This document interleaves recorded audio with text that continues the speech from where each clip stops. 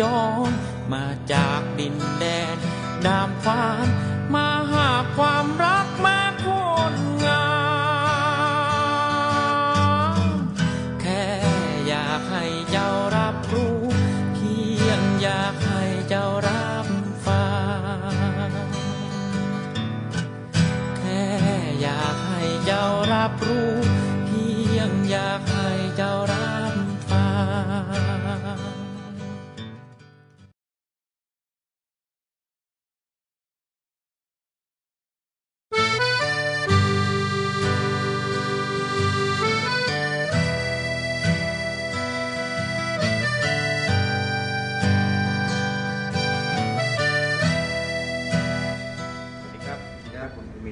ดีครับอาจารย์ครับท่านผู้ชมครับ วันนี้รายการวันหลงข้างเคียงเนี้ยเนื้อในธรรมชาติคือต้นทานศิลปะ ครับผม อันนี้เรียกว่านอกสถานที่ครั้งแรกใช่ครับที่ใช่ครับผมกับคุณภูมินเอ่อนักเพื่อนออกข้างนอก ครับวันนี้เป็นวันสำคัญเลย แล้วสถานที่ที่เรายืนนี้ครับ เป็นสถานที่ที่จะต้องถูกบันทึกในประวัติศาสตร์ของการศิลปะครับ ครั้งหนึ่ง วันนี้มีกิจกรรมอะไรครับอาจารย์ ตอนนี้บรรยากาศก็คือเรียกว่าเตรียมกระตุ้นช็อตนาทีช็อต สุดท้ายเลยครับเพราะว่าเดี๋ยวทางประธานเปิดงานจะมาถึงที่นี่ห้าโมงครึ่งห้าโมงครึ่งนะครับเปิดงาน6โมงตอนนี้ก็อยู่ในขั้นตอนเนี่ยมีผ้าข้างหลังเนี่ยเนี่ยครับอันนี้หลวงอ้วนก็มาจากนู่นนะหอศิลป์เจ้าฟ้าครับก็เดี๋ยวจะจัดกันนะครับเดี๋ยวเราพาเข้าไปเยี่ยมชมสถานที่ครับนี่นะครับพี่จอยครับตามนี่พี่จอยครับดรจอยนะครับอาจารย์ครับที่นี่นะครับครับพี่จอยนะครับดีครับนี่ทางนี้แกนสำคัญเลยนะเตรียมเป็นโพเดียมไว้ให้ปนี่ระก็ธานเป็นโพเดียมของประธานแล้ว ก็คงจะมีตัดตรงนี้ทางเข้าทางเข้าทางนี้จะเป็นสายที่บินครับใช่ไหมครับพี่ให้นอนไหมครับให้นอนไหมนอนนอนนอนนอนแล้วครับเดี๋ยวเดี๋ยวมาดูไม่รูได้ปคืนเลยมาดูรูปที่มาก็จะช่วยงานของสมาคมศิลป์หอไตรเป็นงานที่เน้นเรื่องของสกิลเรื่องทักษะเป็นหลักครับอย่างที่บอกนะครับ เอ่อเราใช้เราใช้งานศิลปะเป็นตัวเดินอุ้ยอันนี้ก็ทีเน้องใช้งานศิลปะเป็นตัวตัวขับเคลื่อนเพื่อให้พี่ให้น้องได้เจอกันครับนะครับอย่างร้อนๆอยู่นะครับได้เมื่อกี้ก็จะเป็นภาพวาดของในหลวงรัชกาลที่เก้าในในอริยบทต่างๆ ในเทคนิคต่างๆ อันนี้ก็เป็นเทคนิคสีช็อกสีน้ำมันนะครับ อันนี้เห็นเห็นสไตล์รู้เลยว่ามันจะสไตล์เรียกว่า Southern l i s t e n คือจะใช้ลักษณะของสีที่แน่นๆ ออกโทนน้ำตาล ครับ เรียกว่าต้นฉบับน่าจะเป็นพี่จำนันสารลักษณ์กับพี่สมศักดิ์ลักษณ์สุวรรณพี่สุวัฒน์วรรณมณีก็เรียกผมผมตั้งขึ้นมาเองนะและที่ Southern Listen จะเห็นแล้วก็รู้เลยจะเป็นแบบน้ำหนักแน่นๆ แสงเงาแน่นๆ ซึ่งต่างจากลักษณะการเขียนแบบสไตล์ของทางยุโรป ซึ่งตอนนี้มีพี่จูนบ้างนะ พวกพี่จูนพวกพี่นุ่นจูสาวโตก็จะเป็นลักษณะแบบครับ นี่นี่เป็นผลงานของสมาชิกในในกลุ่มในกลุ่มในสมาคมในกรมศิลปากรครับ แล้วนี่ก็เป็นกิจกรรม อันนี้ก็เป็นงานประติมากรรมงานประติมากรรมในหลวงนะครับแล้ว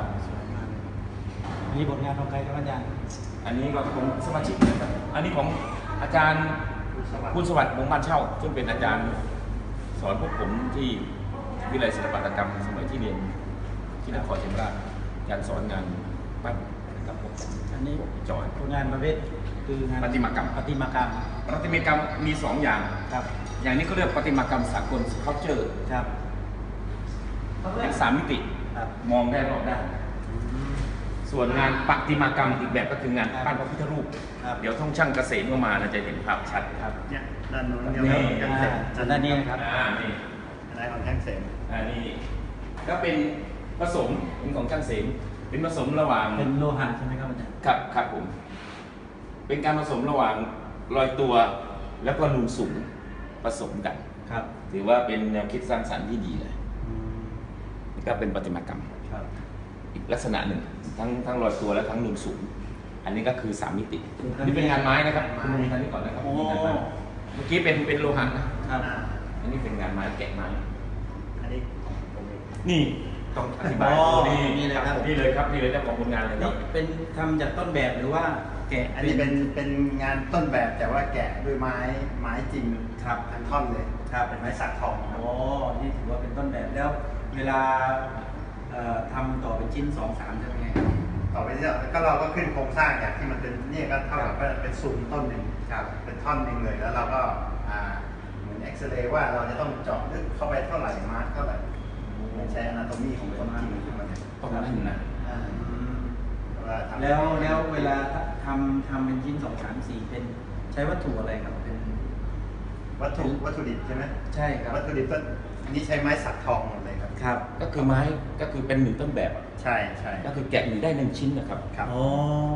ไม่ได้ว่าเป็นการหล่อเป็นเบ้าใช่ไหมแต่ความหมายคือใช่ใช่ใช่ไม่ก็คือชิ้นต่อชิ้น อ๋อชิ้นต่อชิ้นใช่เป็นงาน handmade เลย handmade เลยโอ้ครับแล้วก็ทำให้มันให้มันมีมีเขาเรียกว่ามีมีชีวิตชีวาด้วยพวกการใช้เส้นใช้สายของพวกนี้แต่ก็เป็นเนื้อไม้หมดนะครับพวกนี้เป็นไม้ไม้จริงหมดเป็นไม้จริง ใช่ครับ ใช้ไม้สักทองนะครับ เป็นสักทอง เคยได้ยินปฏิมากรเอกของโลกท่านหนึ่งพูดนะครับเคยได้เจอโลกตอนที่แกะสลักเดวิดท่านท่านพูดแก๊กมุกไว้ว่าเอ่อจริงๆท่านไม่ได้แกะหรอกครับแต่เดวิดน่ะอยู่ในหินอ่อนอยู่แล้วท่านเป็นกระเท้อให้เดวิดออกมา นี่ก็เหมือนกันเจ้าแม่ตัวจริงอยู่ในไม้สักทองอยู่แล้วที่จอยเพียงแค่ไปครับเอาออกมาเท่านั้นเองนี่ อย่างองค์เนี้ยใช้เวลานานไหมครับเริ่มต้นจากตั้งแต่เป็นไม้ไม้ต้ก็นต้องเอาไม้มาแล้วก็ต้องสเก็ตแบบมันต้องออกแบบออกแบบให้มันเข้ากันกับรูปรูปลักษณะของมันหมายถึงว่าพี่สเก็ตแบบก่อนใช่ใส่ใส่กระดาษ ใช่ครับอ๋อเพราะเอ่อต้นแบบที่ออกมาก็ต้องทำไอเดียสเก็ตขึ้นมาครับว่าเราจะใช้เรื่องราวอะไรที่มันจะเข้ากันกับไม้แล้วก็มันให้มันทรงคุณค่ามากที่สุดอ๋ออันนี้ผมไม่เข้าใจผมนึกว่ามีแบบเป็นภาพก่อนแล้วภาพที่ถ่ายแล้วแล้วมาแกะ แต่ว่าพี่พี่ขึ้นขึ้นสเก็ตใช่มือ ใช่เพราะว่าเพราะว่าถ้าเราทำงานขึ้นมาเนี่ยบางทีเราเราไม่ไม่ต้องไปทำจากของโบราณร้อยเปอร์เซ็นต์ครับ เราใช้วิธีจากจากทักษะเราแล้วเรามาประมวลผล ครับ ประมวลผลขึ้นมาว่าจากของอินเดียของจีนคขรับองยุโรปหรือว่าของเอเชียตะวันตกตะวันออกเนี่ยครับ แล้วก็ประมวลความงามเข้ามาและให้เป็นตัวตนของพี่ ใช่ครับแสดงว่าช่วงสเก็ตแบบเนี่ยก็คือ รอบองค์เลยคือหมายถึงด้านหลังด้านข้างใช่ครับอ๋อเสร็จพอได้แบบนิ่งแล้วเรียบร้อยแล้วพี่ก็ลงมือแกะ ใช่ครับใช้เวลาประมาณก็ประมาณองค์นี้ก็ประมาณสามสามเดือนสามเดือนแหมดูครับท่านผู้ชมสวยมากครับสวยมากลองซูมมาดูใกล้ๆได้เลยครับอย่างนี้คิดดูได้เห็นมากที่ภาพใช่ครับใช่ใช่ แล้วไม่ใช่ว่าธรรมดามีเกี่ยวด้วยอ่านี่ไม่ได้เป็นชิ้นต่อนะ ก็คือแกะ ที่ใช่ครับใช่ครับโอ้ดูที่มีกาวมีนะใช่ไหมเดี๋ยวขออนุญาตนะครับเคาะได้เลยดีดได้ครับเป็นได้เลยเสียงที่เสียงอยากเป็นรู้ไม้หมดไม้หมดครับยอดเลยครับ เคยแกะองค์ใหญ่สุดได้ประมาณไหนประมาณสามเมตรสามเมตรสามเมตรใช่ครับก็ต้องต่อเป็นวัสดุอะไรเนื้อไม้ก็เป็นเนื้อไม้หมดเลยครับอ๋อนี่ก็ใช้ใช้ไม้สูงเข้าเป็นต้นมีมังกรด้วยนะแกะมังกรด้วยแกะรูปเยอะแยะมาก ๆมังกรมากก็สนุกดีสนุกดี ลองถามราคาได้ไหมครับพอพอพอตอบได้ไหมได้สมมติเนี่ยได้ผมสนใจเนี่ยจ้างพี่แกะตามแบบประมาณเนี้ยสักเท่าไหร่ครับตัวนี้ก็อยู่ประมาณหกหมื่นหกหมื่นขออนุญาตใส่แว่นนะครับท่านผู้ชมถูกไปนะผมว่าครับใช่หลักแสนมีมีกลึงอะไรด้วยไหมฮะหรือว่าแกะอย่างเดียวแอนเมสอย่างเดียวเลยครับ เพราะว่า เพราะว่าจากจากชวดทรงที่ประมาณอย่างเงี้ยครับแทบจะใช้เครื่องขันไม่ได้เลยใช่ใช่ถูกถูกเลยทั้งองค์เลยใช่ไหมครับไม่มีเครื่องครัขับดเลยพยายามเอาเอาพวกเอ่อเรื่ององค์ประกอบสิ่งเข้ามาช่วยเรื่องการวางเส้นเรื่องการวางจังหวะอะไรพวกเนี้ยครับมันจะล้อด้วยกันแล้วมันจะเหมือนมีลมเอื่อยๆขึ้นมาอืลมมมันจะพัดจากข้างล่างอืมท่านยืนยืนอย่างสง่ายืนอย่างสครัง่าบแต่ว่าเนี่ยพวก ผ้าผ้าคิ้วพวกนี้จะเสริมให้ให้สง่ามากขึ้นเน้นสีหน้าเน้นใบหน้าขึ้นมา ให้ดูดีให้ดูมีเมตตาครับสวยมากครับสนใจติดต่อได้นะครับ ใครชอบงานแกะสลักโดยเฉพาะไม้ครับแล้วแล้วอย่างอื่นแกะได้ไหมครับ เป็นหินอ่อนเป็นหินอ่อนหินอ่อนหินอ่อนก็ทำแต่ไม่ได้ไม่ได้มีงานทำเข้ามาครับ ส่วนใหญ่จะเป็นงานไม้งานไม้กับเป็นงานงานพวกปั้นซีเมนต์อะไรพวกนี้ โอ้ครับ ขอบคุณมากครับผมครับขอบคุณมากครับโชคดีได้เจอเจ้าของผลงาน นี่ก็คือครับหนึ่งในเอ่อสมาชิก แล้วก็เป็นกรรมการของสมาคมสิงห์กันนะครับครับ อยู่ตรงพี่จอยหรือดรจอยจอยครับ ครับครับขอบคุณมากครับขอบครับพี่ขอบคุณมากครับอีกหนึ่งคุณมินครับครับผมอีกหนึ่งเมื่อกี้เป็นงานจิตรกรรมครับนี่งานประติมากรรมเมื่อกี้เป็นหล่อเป็นทองเหลืองแล้วก็แกะไม้ครับนี่เป็นงานภาพพิมพ์ ครับ ภาพพิมพ์ก็คือ แกะไปบนไม้แล้วก็ใช้มือกลิ้งแล้วก็พิมพ์อืมนะครับอืมมันก็เป็นเป็นภาพวาดด้วยสีหมายถึงว่าแกะแกะลงบนไม้ก่อนแกะบนไม้ก่อนแล้วก็กลิ้งหมึกดับมีลูกกลิ้งครับกลิ้งลงไปแล้วก็ขึ้นมาเป็นอย่างนี้อ๋อครับครับผมครับนี่ครับครั้งนี้เบิร์ดเบิร์ดเบิร์ดผู้ช่วยศาสตราจารย์ใช่ไหมธีรชัยสุขสวัสดิ์เบิร์ดนั่งรอแป๊บนึงเดี๋ยวไปเปิดรายการครับ แล้วแต่เทคเทคนิคที่เราจะทำกับท่านผู้ชมนี่เป็นภาพพิมพ์อย่างที่อาจารย์บอกเมื่อกี้ครับว่าแกะบนไม้ก่อนแล้วก็ใช้หมึกดำกลิ้งใช่ครับ แล้วเอาผ้าผ้าขาวรองอ่าก็เป็นเป็นกระดาษครับอ๋อพิมพ์เป็นกระดาษพิมพ์คือกระดาษก็ได้ผ้าก็ได้แต่ส่วนใหญ่ก็จะใช้เป็นเป็นกระดาษพอใช้ใช้หมึกกลิ้งเสร็จก็กระดาษกทับระดาษครับวิธีการมีสองอย่างก็คือครับเขาเราจะใช้ใช้เป็นบาแรงหรือเป็นวัสดุเพื่อจะ อ่ากดทับแม่พิมพ์ครับหมึกให้ติดบนกระดาษ ครับหรือใช้เป็นแท่นพิมพ์แท่นพิมพ์ก็คล้ายๆไอ้ที่เราไอ้นี่อย่างครับมีอ๋อ แล้วก็หมวดหมู่ก็คือภาพพิมพ์ใช่ครับ อนาคตนะครับในเทปต่อๆไปผมจะพาไปชมขั้นตอนการทำงานศิลปะ ที่ช่างนั่งแกะนั่งทำกันจริง ทุกขั้นตอนเลยผมจะพาไปในวันหลวงข้างเขียงเนื้อจะไปออนทัวร์ให้เห็นครับ เรื่องของศิลปะด้านนี้อย่างเจาะลึกครับ ๆ อีกนิดนะครับอาจารย์ทางนี้ครับ นี่ก็เป็นงานจิตรกรรมครับ เป็นงานเทคนิคเป็นเทคนิคผเทสคมนิคยังไงฮะเทคนิคผสมอ๋อครับเป็นสีอ๋อเป็นเป็นสีกรีกและเขียนอ๋องานเขียนนะครับงานเขียนนะฮะเนียบไหมเรียบมากเลยครับ ผมถึงถึงถามอาจารย์เลยครับ ชี้มาทางเขีนี้ยนว่าเขียนไม้เขียนคือทำเขียนเหมือนเหมือนไม้ทำเหมือนเหรียญอืมด้วยด้วยด้วยด้วยทุกษะที่เก่งครับเก็บสกิลเก็บทุกอย่างเนี่ยมีรอยพริ้วมีทุกอย่างเป็นเหรียญดูไกลๆด้วยเหมือนเหรียญตั้งอยู่บนไม้อะครับต้องคิดครับ สมาชิกทุกคนก็คือเป็นสมาชิกที่อยู่ในกลุ่มในสมาคมสินหอไตรสินหอไตรครับ คือผลงานในนี้ทั้งหมดเนี่ยทั้งหมดจะเป็นศิษย์เก่าจบจากวิทยาลัยศิลปหัตถกรรมครับซึ่งวิทยาลัยศิลปหัตถกรรมเป็นเป็นโรงเรียนศิลปะ เป็นโรงเรียนช่างถมแห่งแรกของสยามประเทศครับตั้งขึ้นมาในสมัยรัชกาลที่ที่ไหนฮะ5ที่นครศรีธรรมราชอ๋อครับแล้วก็ปีนี้ครบรอบ 105 ปีแล้วครับ คือพัฒนาการมาต่อเนื่อง เมื่อก่อนท่านเจ้าคุณม่วง ท่านก่อตั้งโรงเรียนช่างถม ครับ ซึ่งก็รวมหลายโรงเรียนเลย ต่อมาก็มาแยกมาเป็นเทคนิค เป็นอาชีวะ เป็นเอ่อเบญจมะครับ ที่นครก็เป็นเรื่องศิลปะครับคือมาจากเรื่องราวเดียวกันในการปฏิรูปการศึกษาของชาติ ครับ ในยุคสองพระบาทสมเด็จพระจุลจอมเกล้าเจ้าอยู่หัวรัชกาลที่เก้าก็ลงมาจากวันนั้นถึงวันนี้ร้อยห้าปีร้อยห้าปีแล้วครับ แล้วก็อาจารย์ก็รุ่นอาจารย์ก็คือรุ่นหนึ่งที่เรียนที่นั่นใช่ครับเป็นรุ่น สี่ปี กี่ปีครับสามปีครับ สามปีครับ อ๋อ แบบของเอ่อประ กันแบบชาชีพปครับชหนึ่งสองสามก็คือมสี่มห้ามครับจบจากนั้นก็ต่างคนก็มาต่อการทำงานก็มาต่อในศิลปากรต่อพ่อช่างต่อประสานมิตรต่อจุฬาต่อเชียงใหม่ในสถาบันศิลปะในสถาบันศิลปะแล้วแต่ใครเลือกแต่คะแนนเข้าไปใช่ครับสุดท้ายวันหนึ่งก็มารวมตัวกันใช่ครับครั้งนี้เป็นครั้งที่หกนะอาจารย์ครั้งที่หกครับปีละครั้งใช่ไหมครับโชว์ปีละครั้งครับก็หกปีติดต่อกันแล้วปีติดต่อกันจัดตั้งมาเป็นณณวันนี้ก็เป็นสมาคม สินค้าแตกซีโนไตรที่ถูกต้องตามกฎหมายถูกต้องครับแหมยอดเยี่ยมจริง เดี๋ยวเชิญทางนี้นิดนึงครับไปครับนี่ก็เพราะว่าเป็นงานเทคนิคเป็นงานไม่ไม่ง่ายนะฮะท่านผู้ชมที่ได้มาอันนี้ของคุณอ้นวีรศักดิ์นะครับครับอ้นวีรศักดิ์มันแก้ว คนนี้หลวงตามหาบัวเขียนโดยสไตล์เหมือนกับเป็นงานแกะไม้ ใช่ครับเมื่อกี้เป็นงานแกะไม้จริงๆ เห็นไหมเมื่อกี้ครับได้กดอิ่มทางนี้ครับปฏิมากรรมเป็นงานไม้นี่จครับริงๆ แต่นี่คือเป็นการเขียนด้วยมือล้วนๆแต่ ได้แรงให้ดูบันดาลใจไกลๆว่าเหมือนกับไม้แล้วก็เราใช้สิวกดในไม้ อันนี้ข้อที่หนึ่งแล้วนะครับแม่คนลุกเลยครับแต่สำคัญกว่านั้นอีกนะคนคนนี้คือใครรู้ไหมหลวงตามหาบัวอ่าแต่คนคนนี้คนที่เขียนเจ้าของอ๋อคนที่เขียนครับเขามี exhibition ตลอดเวลาของเราครับเพราะเขาคือคนที่เขียนธนบัตรที่เราใช้ทุกวันนี้อ๋อที่อยู่ในแบงค์อะครับนี่แหละครับคนนี้โอ้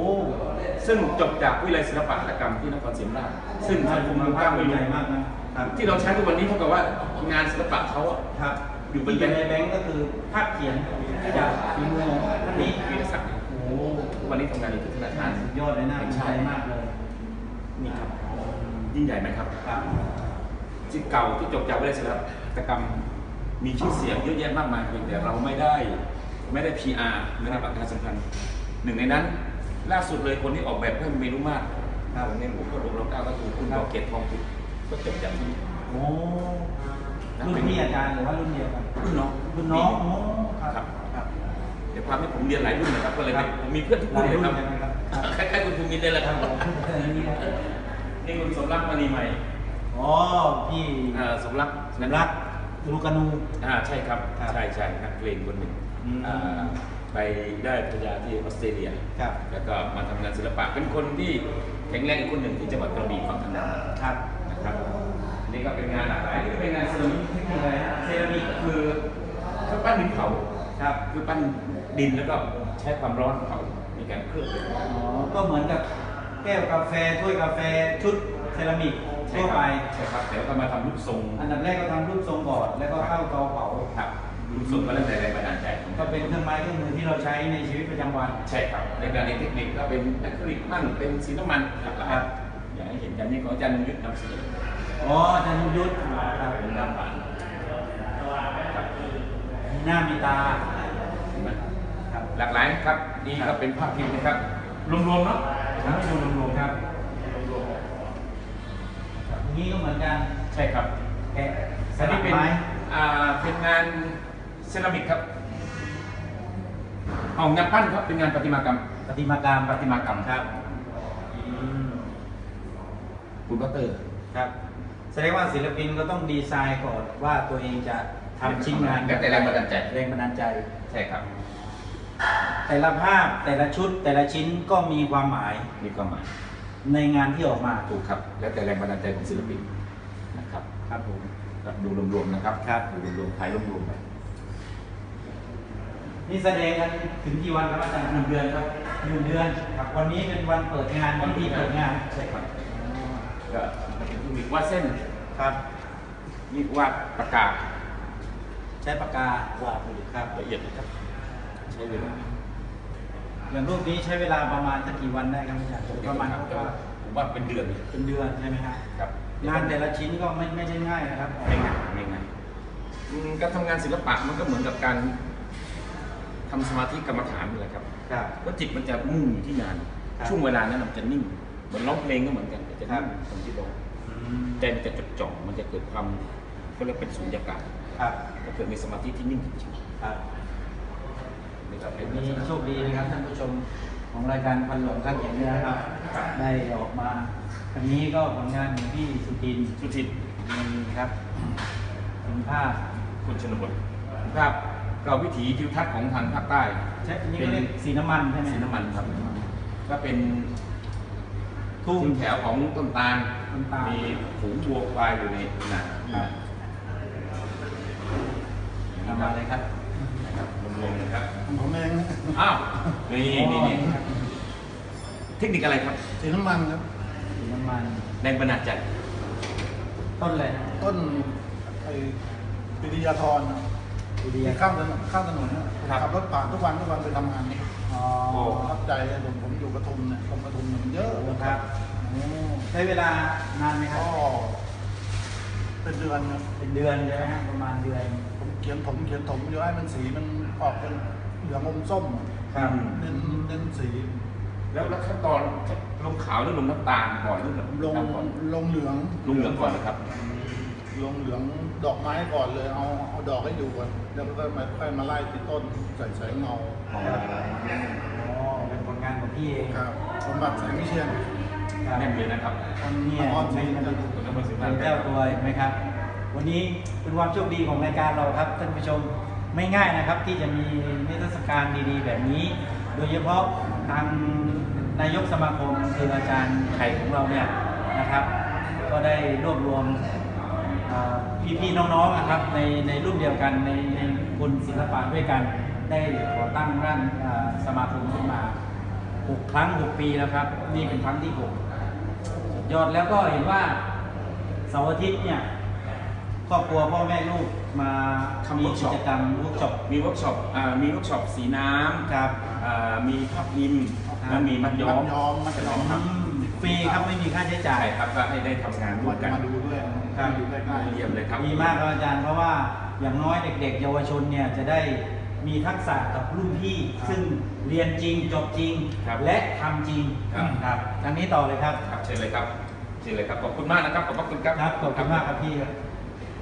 นี่หลากหลายเทคนิคเลย ทางนี้ข้ามไม่ได้ครับนี่ผมเห็นชื่อเลยครับอ่าเข้ามาซูมหน่อยครับโอ้โหอาจารย์เองครับ อาจารย์คาถาพุทธทองไทย แรงบันดาลใจไงครับรุ่นนี้ครับ อันนี้เป็นเก้าอี้ตัดผมของพ่อผมพ่อของท่านอาจารย์พ่อของผมก็คือ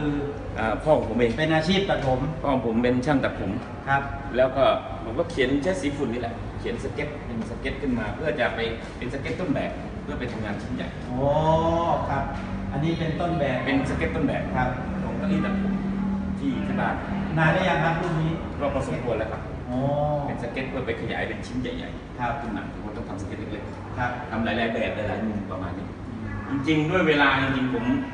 อยากจะทำเล็กตั้งเยอะครับแต่ด้วยเวลาเรียกว่า 24 ชั่วโมงไม่พอครับผมอยากให้วันหนึ่งมีสัก48 ชั่วโมง18ชั่วโมงนะครับ ได้ครับ งั้นเดี๋ยวผมจะขายเวลาให้ครับอาจารย์งั้นจะซื้อเวลาเอาทางนี้ต่อเลยครับก็ทำก็นี่ก็หลากหลายเนาะหลากหลายครับเทคนิคดูรวมๆนะครับครับดูรวมๆก็เดี๋ยวจะถึงเวลาที่ต้อง ไปประชุมสามสมาคอ๋อมร่วมกันครับนะครับ ได้ถ้างั้นเดี๋ยวเราตัดไปที่ห้องประชุมเลยครับ นะครับ อีกรอบหนึ่งงั้นตรงนี้ก็แค่นี้ก่อนนะครับท่านผู้ชม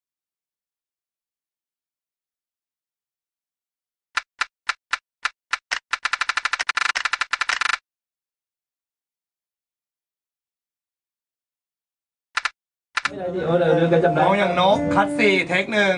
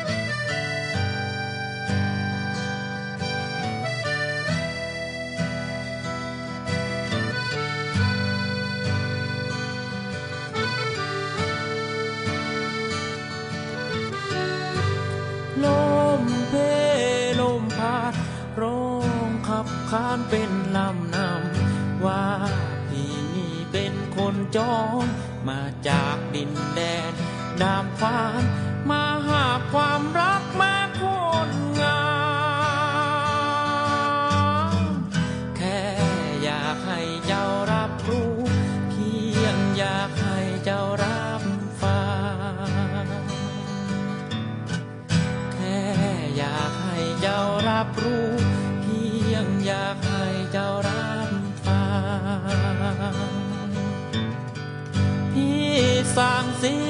ลปะศินสินสินศิลปาเนื้อตัวมอมแมมผมยาวรุงรัง จะเดินไปไหนไรคนสนใจ แค่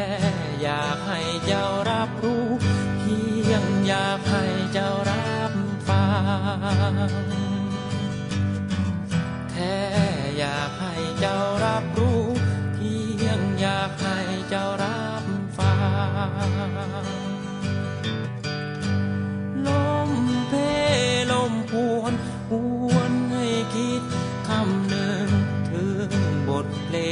ความฝัน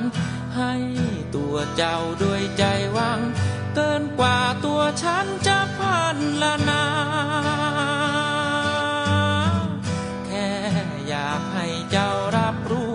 เพียงอยากให้เจ้ารับฟัง